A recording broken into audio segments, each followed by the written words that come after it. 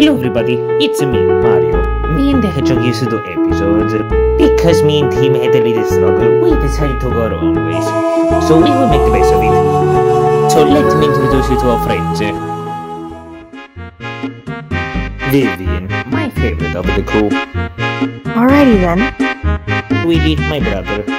Here we go! Toad, our funny mushroom. Three princesses. It's about time. That's a power. Yes. Mario and Waluigi, the plumbers. Wow! And the rest of us. Yay! So for now, welcome to